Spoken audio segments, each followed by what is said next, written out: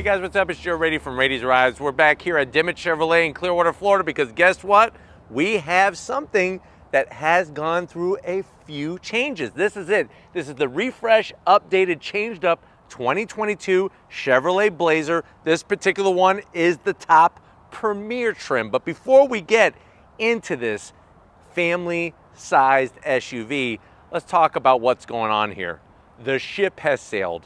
I think we could stop, you know, arguing, arm wrestling, tongue wrestling about the topic of should the Blazer be more of like it used to be off-road worthiness. It seems that that's been a big open gap in Chevrolet's lineup as Ford is bringing out the Broncos, obviously Jeep with the Wranglers. The Blazer was supposed to be that off-road go-to, but unfortunately, it just never was meant to be. Now, the big news is for 2023, Chevrolet is going to grow the Blazer a little bit longer to offer up three row capacity. Now, what's interesting is that when it comes to a mid-size SUV, there's not a lot of choices out there where there's only two row available option. Most of them have switched over to that three row functionality. Now, comparing this Premier, this being the top trim with all the goodies, I want to compare it to one of those three row SUVs that's very similar in size to this Blazer. It's going to be that Acura MDX. And I want to find out, is it better to go with this updated Blazer for 2022, having that extra room in the cargo area, extra passenger room, or should you go with the Acura MDX? Let's go ahead, let's find out what's different, what's new, what's special about this 2022 Blazer Premier, and see is it the SUV you should be buying over the MDX? Let's find out. Right off the bat, all the changes are gonna really just come at you all at once at the front of the business. So refresh front fascia, front grille area on this Premier trim. You can still see they continued with the split lighting setup. So you're gonna have your daytime running lamp up here, then there's a lot of real estate, and then you find your LED projector beam headlight in the smaller area. Now the good news is no fake vents, and you'll find that a lot of other brands, especially Hyundai, is switching over to this split headlight design. Let me know if you're still liking it or if you don't like it on the front of this Blazer, but definitely gives it a very aggressive look. And if you notice, the Trailblazer, the Traverse, the Equinox, they're all switching to this type of overall setup to make it more uniform. Now for 2022, you'll notice that they went with a new gunmetal gray finish, metallic finish on the bottom. Instead of gloss black or flat black. I really like that touch. And then coming across the grill, this grill is unique to the Premier trim. Nice large size grill. You're gonna have the chrome brow at the top with the blacked out bow tie, forward facing camera that is hidden very smartly. And then you have the simple horizontal bars, gloss black with a little bit of silver to match the major amount of silver at the top. Working your way down, this is newly painted for 2022. Instead of it being the darker gunmetal metallic gray, you have a bright metallic silver finish only in the center. And I think it gives it a nice extra kind of depth of design using the different colors to make it stand out from the rest of the Blazers and not make it look so Camaro-esque like on the RS Blazer. Now, when you get up onto the low slung hood, you do have your rises at each corner that kind of go towards the windshield, and then you're gonna have a peak in the center that slides all the way the windshield as well. Now, what's interesting, if you're comparing this to the MDX, Acura uses that same kind of design philosophy when it comes to the hood and the front of the vehicle. So interesting that we're comparing these two to one another. Now, when you come around the bend, what are we working with wheel and tire setup? So just like on the MDX, you get the option of 20 inch wheels. All new wheel for 2022, 20 inches in diameter. I like the way that they went with a nice cohesive design with the blacked out bow tie just like up front.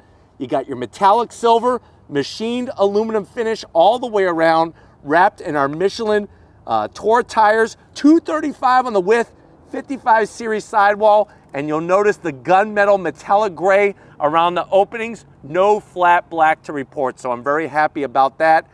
Your rotors are a little over 13 inches in diameter, of course fully ventilated, And then we're gonna go ahead and continue down the side. I think it was smart how they blended the reflector, the light reflector into the actual fender trim instead of up here on the nose. Coming down the side, you're gonna get color matched on the mirror caps. You got your turn signals built in. And then what's great is, is that flat black around the window treatment, no gloss black. I love the way that they do the A-pillar, a very strong A-pillar, nice and bold with our blacked out blazer badging, a little high for my taste. I wish that they would have it right here. There's a body line that comes up. If they would have put it here, it would have went nicely with the body line, but it is what it is. I am gonna zonk it though up there. Down below, you have a chrome strip to match what's happening on the front grille. And you do have probably one of the world's smallest running boards, but they are functional. They got some nice grip, and that will allow the smaller people in your family, in your neighborhood, to get in and out of the Blazer a little bit more successfully. Now, one of the fancy touches is the chrome that they put around the door handles with the same body colored black paint. We do have these bright, bright silver, it's like you need sunglasses, silver uh, roof rails, and we have the optional GM crossbars to let you see what that looks like. You could put your kayak holder up there, your cargo basket for those long family trips. Working your way towards the rear, I've always liked the way they did the rear quarter window, how they have that floating roof design, all color matched because we have a blacked out Premier. And then coming towards the rear, just like on the MDX, they need to get rid of these wipers. And another thing would be nice if they extended out this low roof spoiler. It looks good. I just want it to come out a little bit further to give it that nice overall balance of design. Great work though on the LED taillights. Nice shape, the way they illuminate. We got blacked out badging on the Blazer, blacked out badging on the Premier, because this is the top trim. Our bow tie, and you'll notice how you don't get a lot of bumper extending out. That actually comes in really handy when you're backing up into a tight space, having it all be nice and flat. But going all the way to the bottom, what you'll find is you do have functional, not fake, but functional exhaust on both sides with the chrome trim rings. And underneath this panel here that's painted that dark gray metallic, you are gonna have your tow capability. But don't we go ahead, let's pop the hood on this Blazer, talk numbers, and talk about towing in our Blazer Premier. All right, guys, we got the hood popped. You do have hydraulic hood struts. And what's interesting is just like the MDX, we have naturally aspirated V6 power. So underneath the hood, definitely not the sexiest engine cover, but also not the largest engine cover. It's a very small engine cover. What are we looking at? We're looking at a 3.8 liter V6, 308 horsepower. So more horsepower than the MDX 270 pound-feet of torque. It is mated to a nine-speed automatic transmission, 0 to 60 in about 6.2 seconds, top speed around 130 miles per hour. The vehicle weighs 4,273 pounds and can tow up to 3,500 pounds. MPGs, 19 in the city, 27 on the highway. Now I know you're probably saying, well Joe, don't other Blazers have smaller engines? Yes, if you go with a different trim, you can option in a smaller turbocharged inline four, but this, when you go Premier, you are getting the naturally aspirated V6. But why don't we go ahead, let's get to the interior and see what big things are in store in our Blazer Premier. All right, guys, we're inside this 2022 Chevrolet Blazer, that top Premier trim.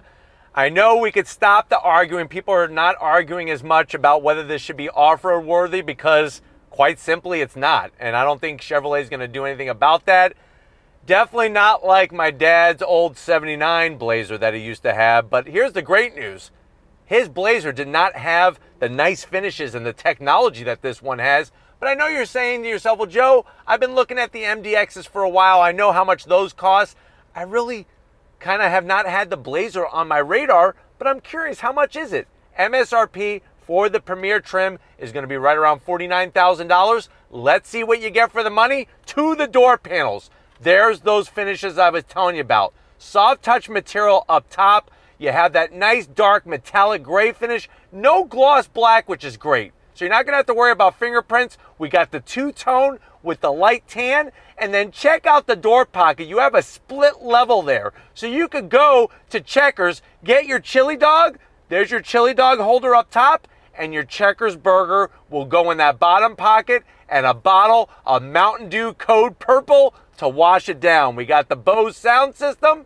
And then going from the door panel to the dash, we have some more fine finishes. I like the way they went with the round AC vents with the silver trim. Matches the rest of the silver trim on the dash. Look at the little touches that they do with the piping here and the contrast stitching. All soft touch, even the contrast stitching up top. What do we have for infotainment? We have an 8-inch system. Now, there's pluses and minuses here.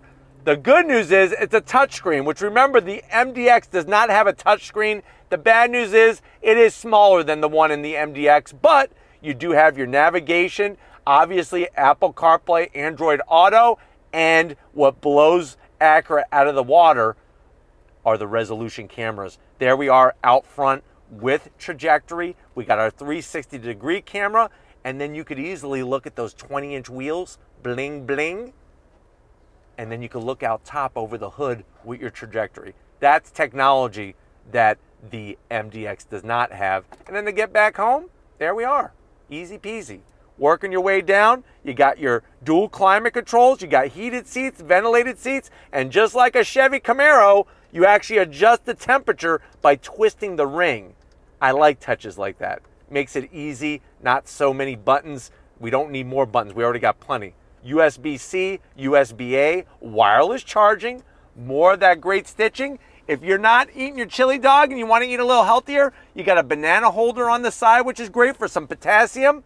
There's that dark gray metallic finish like on the door panel. Two cup holders. Your standard Chevy key fob with the gold bow tie there. Flip it around. We got remote start. You could pop the hatch remotely. This is going to control our nine speed automatic. I like the silver trim everywhere. We got our different drive modes, which I'll show you more of that when you come to the business side of things. We got a little bit of a Tootsie Roll holder tray in here. And then I really like the way they did the materials. Look, Alcantara with the stitching. Open it up, USB-C, USB-A, and guess what? A 12 volt. Plus you could easily fit, I would say, eight He-Man figures in here. He-Man, the master of the universe, Skeletor, you can keep those figures in there. They're going up in value, so don't let your kids play with them because they're probably going to break them. Close it up, seats. I love the leather, the piping, the Alcantara, the nice little touches everywhere, right there, just like on the dash. And then you're gonna get full power assist for the passenger and the driver. But wait, there's more. Digital rear view mirror, Acura MDX does not have that. And we also have a panoramic sunroof. All the way back the shade goes. Look at that. And then you close it up one touch. Look, mom, no hands. But why don't you come over here? I want to show you where you could wrap your hands around all day long driving this Blazer. Coming over the business side, I want to show you. Hi guys, here we are, business time. There's those miniature running boards that actually do work for people who have a little bit higher to grow. Step on that running board. I like the way they got the Chevrolet nameplate here. Would have been nice if it lit up LED. That seems to be like the cool thing in the auto industry. You do have those electric seat settings, especially the lower lumbar. That's my favorite. I'm six feet tall. You know that, but I keep having to remind people plenty of headroom, even with the panoramic sunroof. You have an electric tilting and telescoping steering wheel, heated steering wheel, and nicely leather wrap with that bronze contrast stitching all the way around. A little bit of silver. I just don't know why they go gold on the horn button with the bow tie. It should be black. Everywhere else is black. Plus, it would have been nice to have some stitching on the horn button just to make it look a little bit more premier. But there's your heated steering wheel button, easy to get to. Love the grips and then the dash. You got a combo deal. So you have your analog tach, coolant, and fuel gauge. You got a digital voltmeter and uh, coolant gauge in the center there, plus for your oil temp. And then you have the large digital display in the center. Let me show you the modes. You do have your tour mode, you do have sport mode and you do have your snow mode. The bad thing is, it's just it doesn't do anything with the dash. It would have been cool if something would have happened with every single time you changed it. But I do like the way you could change all the readouts in the center. Easy clear graphics, like those nice touches there. But definitely the MDX, I think, wins with their new digital dash. But why don't we go ahead, let's get in the back seat and see how much extra space you have in the Blazer compared to the MDX. Hi guys, back seat time, and I'm telling you, it's actually very deceiving because on the outside, you think there's not gonna be a lot of headroom in the back seat. You actually have plenty. Remember, how tall am I? Yes, yes, you're correct back there. Chewing on your Twinkie right now. I'm six feet tall, not even close to the headliner or the shade for the panoramic sunroof. You got leather all the way around. Good size pocket, easily put, I would say two back scratchers there. One for you, one for your friend that's riding in the back seat so they don't take yours. We got our rear AC vents with a little bit of silver trim, USB-C, USB-A, and a home power source. And then you got enough room down here, I would say for a small Nerf football. So when you're going to the park and you're gonna throw the football around, put your Nerf football there. The good news is if you got a younger brother or sister, you can hit them in the head with the Nerf football, and because it's softer, it won't bruise rather than using the good old fashioned pigskin. So, something to think about if you want to peg your little brother or sister. I got my own pocket over here. Obviously, I'm going to put a calzone because I'm freaking hungry right now. Lori won't let me eat lunch. She's telling me I got to finish this blazer first before I eat lunch. Well, guess what, Lori? I want my freaking calzone and I want it now. Now, the great news about the back seat yes, it slides.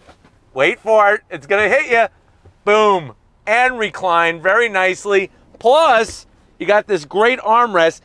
I don't know why it's so hard. It feels like an old like muffin that's been sitting outside all stale, but it does have the nice leather and you do have two large cup holders. But why don't we go ahead, let's get into that cargo area and see how much space we have for you and your family. All right guys, time to get in the cargo area, see how it stacks up against the MDX. You do have electric assist on the Premier. And just like I was telling you, because this is a two row, instead of a three row like the MDX, you get more room because there's no seat belts, there's nothing. Lots of nice space. You do have your melon holders on both sides. One place for a honeydew, one place for your cantaloupe. Of course, the seats will fold down, but how much space do we have? You're probably asking me. We have 31 cubic feet of space with the rear seat up fold the rear seats down and you are gonna have almost 70 cubic feet of space. What I love besides the melon holders, because who doesn't like a good melon holder, is definitely, I love the way they got handles to fold down the seats.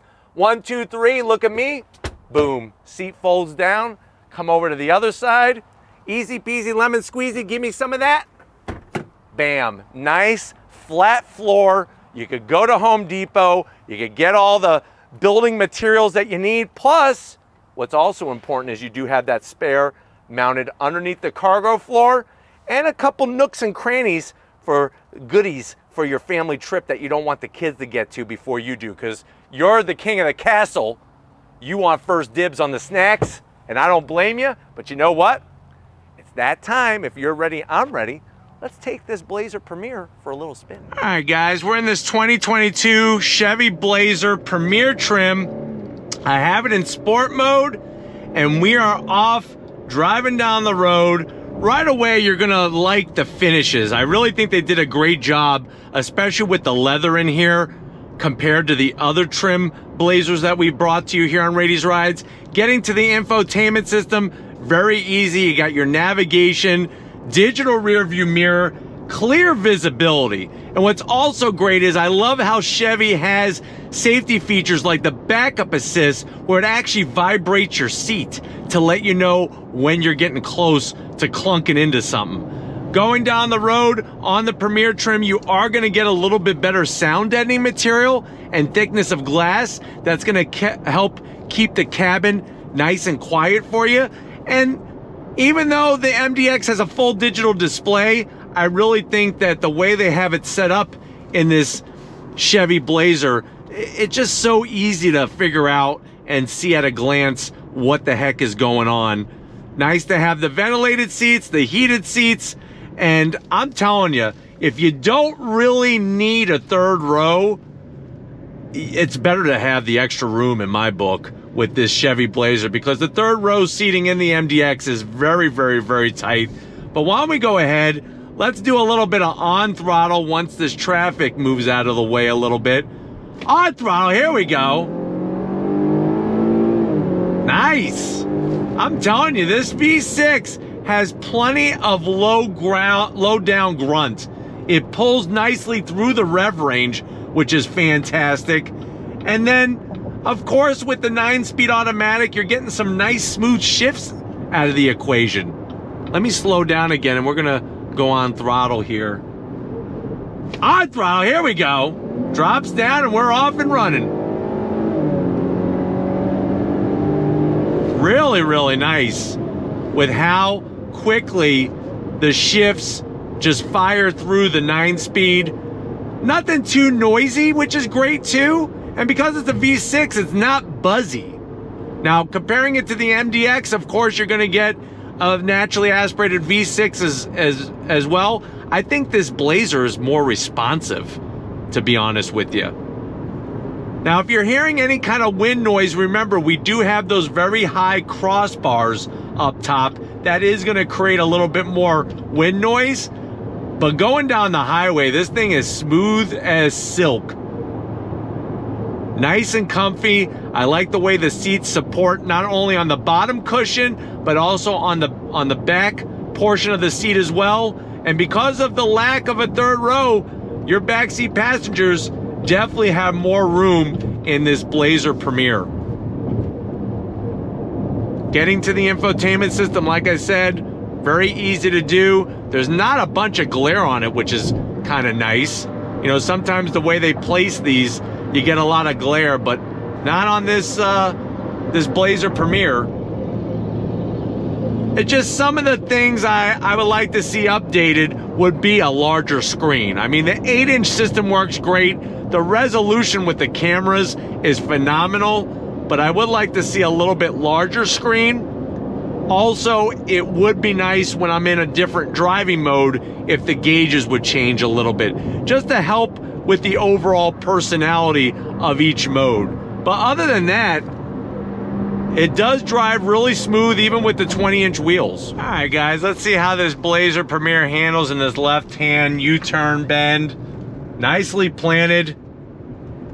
One, two, three, on throttle, here we go.